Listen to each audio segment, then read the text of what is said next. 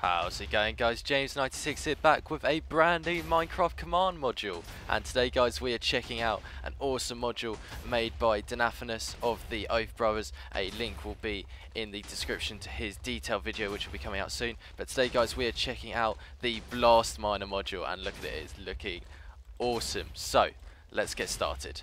Okay, so the first thing you need to do, as always with these Minecraft command modules, is you need to install it. So in the description below, as soon as I get hold of it, will be a schematic download, which you can install into any world. This is what the schematic will look like, just like so, and you can just put it in a bedrock bedrock box down at the bottom of your world and never have to see it again. It doesn't have to be at a certain height or anything.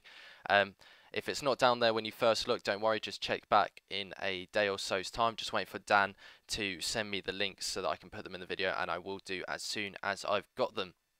But if they're already there, then he's already done it and you don't need to worry. So yeah, all you need to do is install this into your world, nice and simple, and it's even labeled what everything does. It's very well optimized and spent a lot of time sorting out the timings and everything to make sure it's not going too quick or, you know, overworking the uh, system and as you can see it's got an item hopper clock which makes everything run nice and smoothly. And then all you need to do is add the following module uh, following objectives blast miner blast miner b1 and blast miner b2 but as you can see I've already added them and it already exists so we don't have to install them again.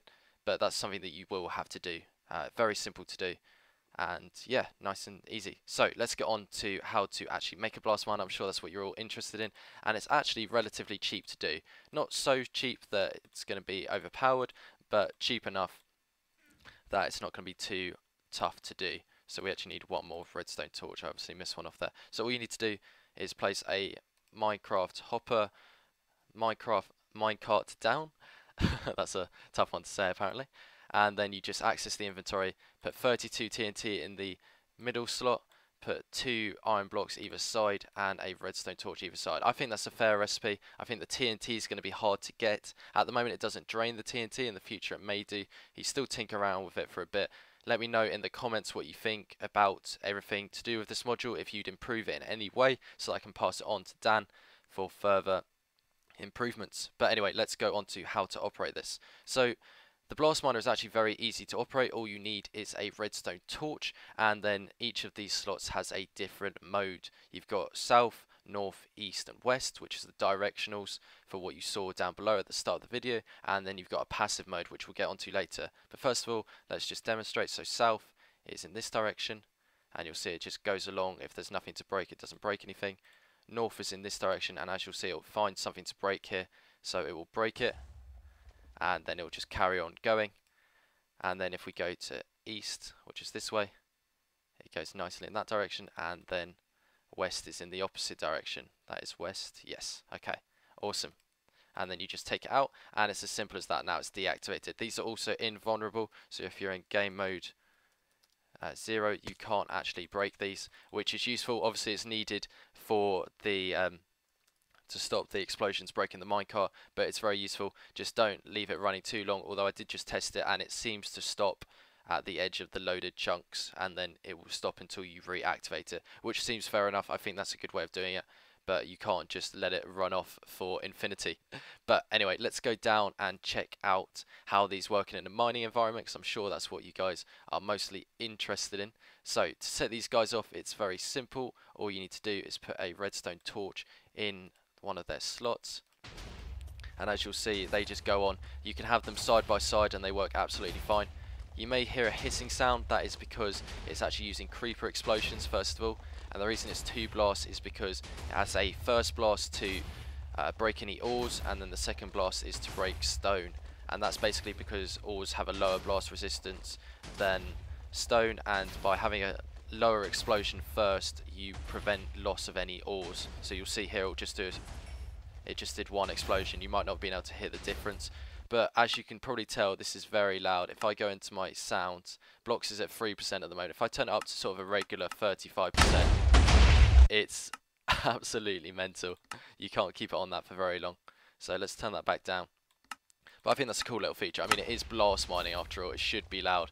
And then to stop these guys, it's actually a very simple little system that you have to do. You can just put two hoppers in a row. This is something I've figured out. There's no set way of doing it, but this is a very simple solution. You just lay out two hoppers like that because there's two of them and all you're going to do is catch the redstone torch because you've laid down a basic filter and you'll see this guy should just stop perfectly on top good it worked and then this guy should stop on top of the other one and you'll see there'll be an extra redstone torch in there so it's very easy to stop these guys from going and yeah there's basically loads of different stuff that you can do with them if we can get this guy back going again if I take out all of this stuff and send him off in the other direction. So if we send him off this way, is he going to go? Oh no, he won't have gone because there's this hopper here. Let's place down a redstone torch next to it to deactivate the hopper and then send him off in the opposite direction. So there's loads of little cool things this guy does. So if he is going along and he sees a hole, he will just go down it, I believe, and carry on. He's not quite aligned with the block. Oh no, sorry, he has the um, he has a self-preservation instinct, so he'll actually stop there. That's exactly how it works. And then if I place the blocks back, he will carry on. If he sees something that he can't break, like obsidian, for example, it can't break obsidian, then he will go over it and carry on, as hopefully demonstrated here. So he'll try and break it, he obviously can't break it, but it won't stop him, he'll carry on going. And if I put two here, it will do the exact same thing. He'll try and break it, he'll kind of jump into the block, and then he'll carry on going. He also has a self-preservation instinct against lava, or at least he should do. So if we place some lava down here, we'll test exactly how this works. This is still a bit finicky, and it might not work because this lava is moving. But he should stop himself around the edge of lava. Okay, I might have done that wrong. I'm still playing with this myself. But as you can see, the lava doesn't deter the um, minecart. He will keep going through it then and as you can see it's now breaking blocks again. Another important thing to point out is obviously these minecarts have limited inventory and as you can see at the moment it's picking up a load of cobblestone.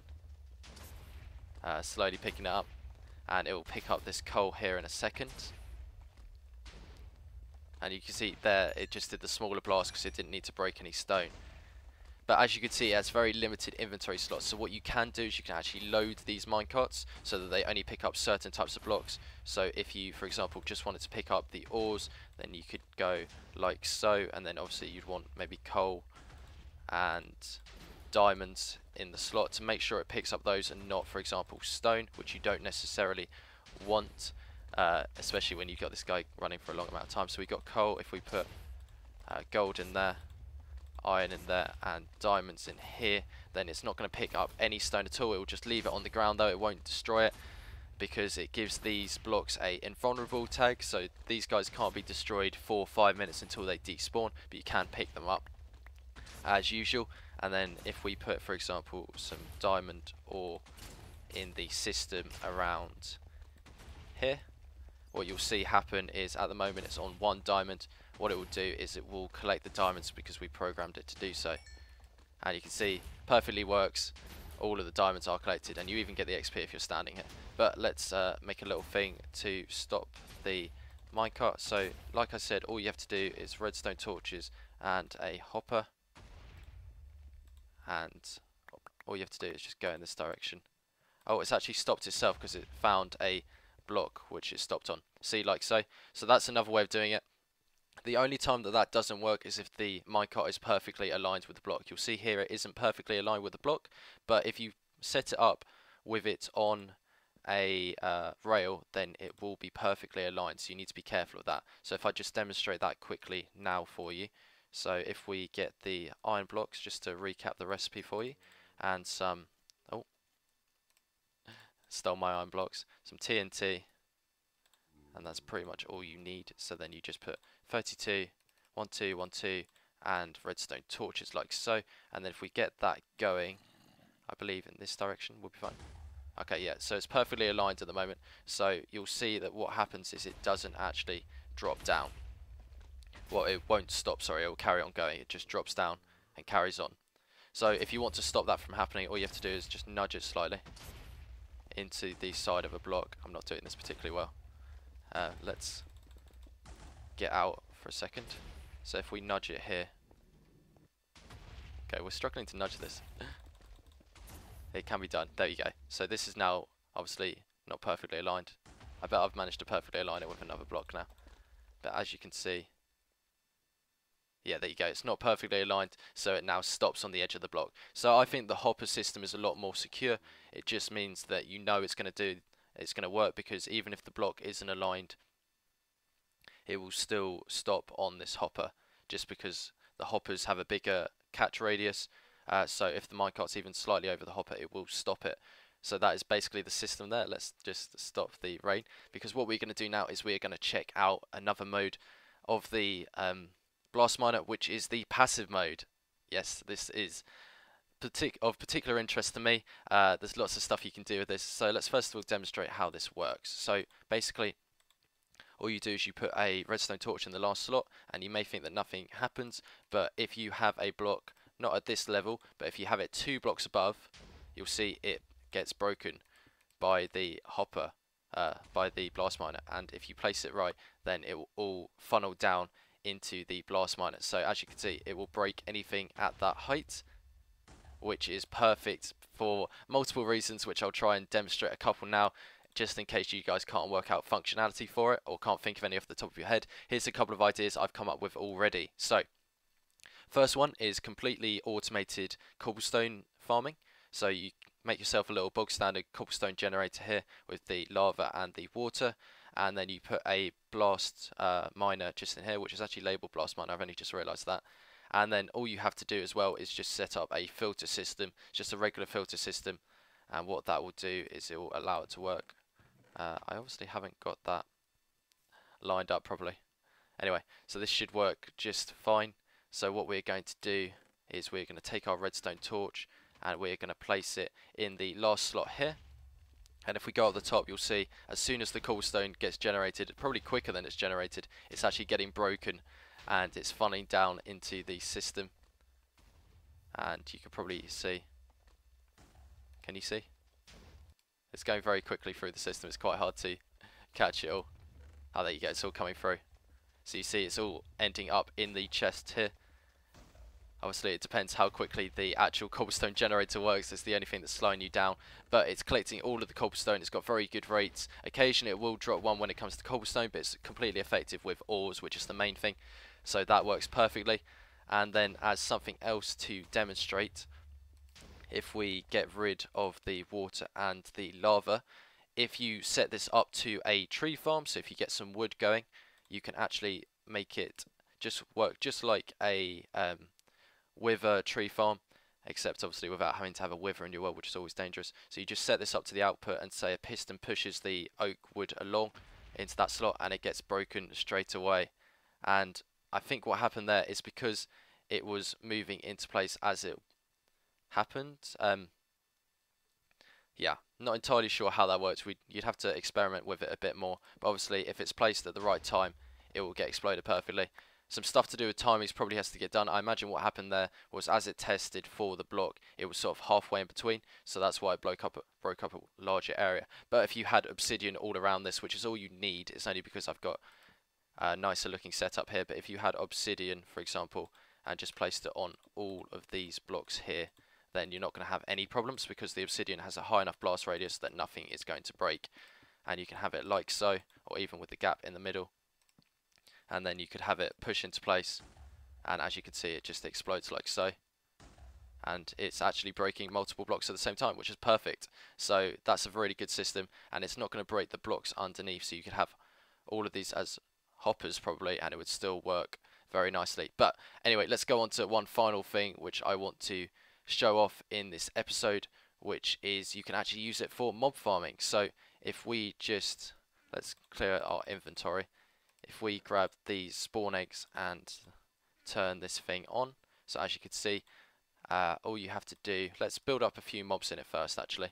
So if you just put a few mobs in, now this is out of glass so there's a chance some of these will go flying out the side but I just wanted to demonstrate. So these guys are just going to burn but if you put a redstone torch into enable passive mode you'll see that these guys are getting wrecked.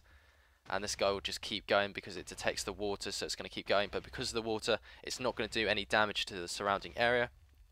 That's another thing you can do with the tree farm is just put water around Uh, obviously, I haven't spent a lot of time experimenting with this. Dan showed me this design yesterday, so I'm trying to get a video out nice and quickly because this is actually installed on the Kplex SMP server, which I'm going to be playing around with this a lot more on there, but I wanted to show off the design quickly first. So just one more time, you'll see that as you put these guys in, they will get blown up by the system.